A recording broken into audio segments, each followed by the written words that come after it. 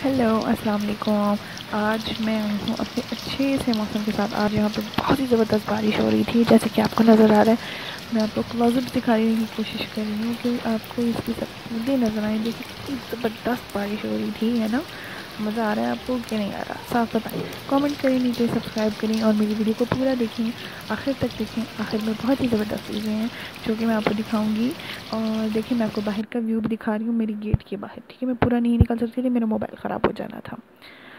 मैं चटनी कबाब बना रही हूँ। आज हमने में मेरा कुछ ज़्यादा बनाने के दिल में चला था तो खाली हमने आज तक बनाया चटनी कबाब। जैसे हमने कुछ स्टाइल बनाया, ठीक है, और कुछ स्टाइल बनाया। तो जैसे कि आप देख रहे हैं तल रहे हैं तल रहे हैं और बहुत ही मज़े में मज़े के बने और साथ में मेरी मदर इन लॉ ने उसके साथ तंदूर की रोटी बनाई है। ठीक है, गैस कलर जो होता है, प्रॉपर तंदूर नहीं है हमारी घर। तो ये देखें कितने ज़बरदस्त हमने उससे पहले पानी में हाथ थोड़ा सा लगा के और आपने इसके कबाब बनाने, वरना हाथ साथ सारा चिपक जाना है, ठीक है? और ऊपर थोड़े से एक एक टमाटर लगा दें तो उसके साथ उसकी शक्ल भी अच्छा आ जाती है और टेस्ट में भी इजाफा होता है। तो ये देखिए इस तरह राउंड एंड राउंड और लंबा करके आपने इसको डाल देना है। जिस तरह से कबाब का शेप होता है तो इस तरह भी ये बहुत मज़े के लगते हैं। थोड़ा शेप चेंज होता है टेस्ट वही होता है, लेकिन अपनी सेटिस्फेक्शन के लिए हाँ हमें अच्छा लगता है। तो इस वजह से हम इसको इसी तरीके से बनाते हैं, ठीक है? तो ये देखें कितने मज़े से लग रहे हैं, ठीक है? ये बन गए। अब अफ्तारी में कुछ टाइम था तो हमने सोचा कि चले, देख लेते हैं। बारिश रुक गई है, जैसे कि आप लोगों को नज़र आ रहा है।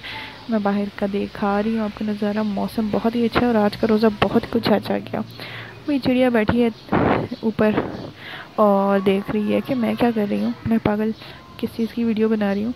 किस चीज़ की बना रही हूँ? चिड़िया भाई चिड़िया बाजी तुम्हारी ही बना रही है वीडियो, ठीक है?